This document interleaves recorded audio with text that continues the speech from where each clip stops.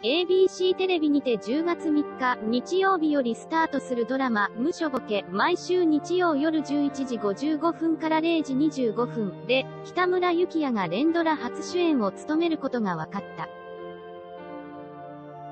テレビ神奈川での放送も決定し、こちらは10月5日火曜日より毎週火曜夜11時からオンエア。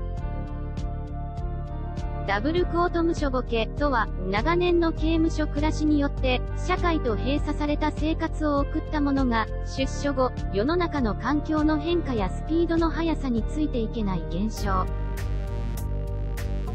そんな無所ボケ状態にある主人公の元ヤクザ、陣内宗介を、北村が等身大の演技で愛嬌たっぷりに演じる。陣内、北村幸也は、義理と人情に厚く、家族思いだけど不器用。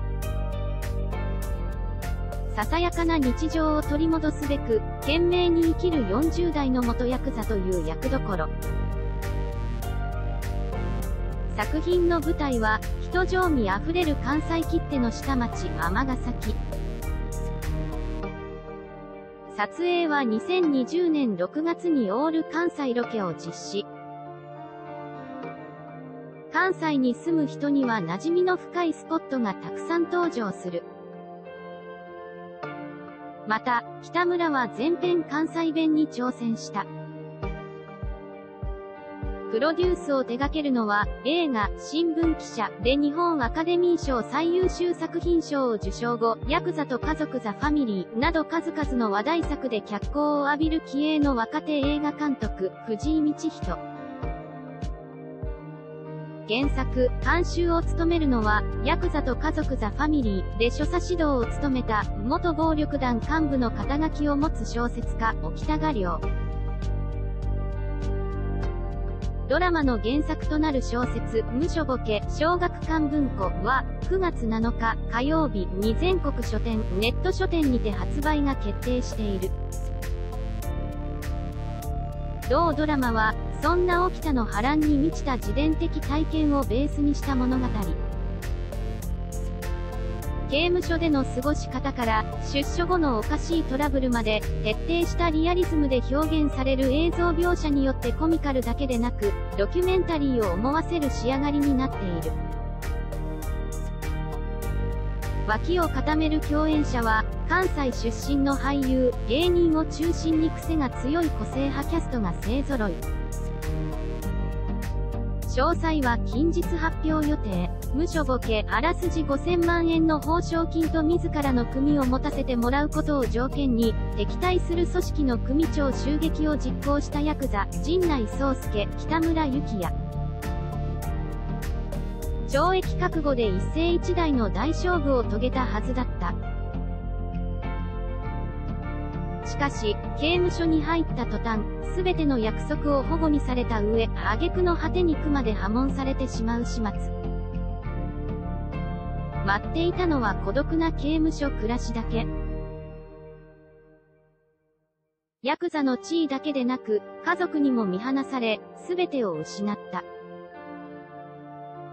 それから14年後、晴れて出所した陣内は、仇の世界で生きていくことを決意するのだが、コンビニのレジ袋は、居酒屋は全面禁煙、てかスマホってなんや？14年の歳月で、すっかり様変わりしてしまった世の中に困惑する。そればかりか、壁に向かって直立したり、独り言が多くなったり、長年の刑務所暮らしで染みついた癖がついつい出てしまう。そんな陣内の前に現れた見覚えのある一人の男が、お前は重度の無所ボケや、と告げるそれは新たな悪夢の始まりだった。陣内宗介役、北村幸也コメントこの年になって、初めて連続ドラマの主役をやらせていただくことになり、恐縮さと気合が入り乱れております。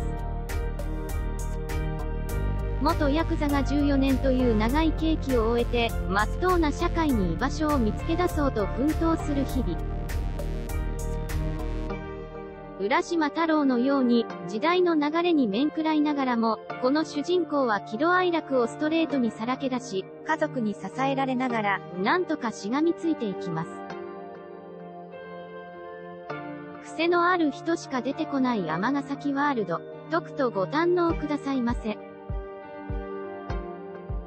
原作者、起きた画量コメント、ドラマ化に向けて、私の地元、尼崎は特段、変わった街ではなく、ごく平凡な場所です。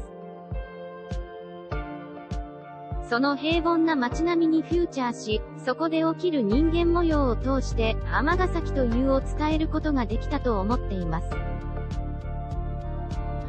怒りも、悲しみも、喜びも、驚きもすべて、見た人が、わかるわかる、と言いながら最後にはクスッと笑ってもらえるのではないでしょうか。これまでにはないドラマになった自負があります。ありきたりな人々の究極な優しさを懐かしさとともに堪能していただければ幸いです。監督、安倍良秀信コメント初めて起きた先生の原作を読んだ時、笑いが止まらなかった。主人公が、おっちょこちょいの頑張り屋さんで、愛しくてたまらないのだだが、彼は元ヤクザ。14年も無所にいたイフと愛嬌が嵐のごとく入り乱れる難解な男を北村幸也さんは、裸の汗まみれで壮絶に演じきった。無所ボケは、彼の代表作になった、はず、土下座、である。企画プロデュース、藤井道人コメント映画、ヤクザと家族ザ・ファミリーでご一緒した時から、いつか起きた先生の小説をドラマ化したい、という願いが今回叶って感無量です。画では書けなかったヤクザという人間の細かな生態を起きた先生がユーモアたっぷりに書いてくれています。無所ボケは人がやり直すということについて書いたドラマだと思っています。不寛容なこの社会の中で、もがきながらも奮闘していく北村幸也さんをどうぞお楽しみに。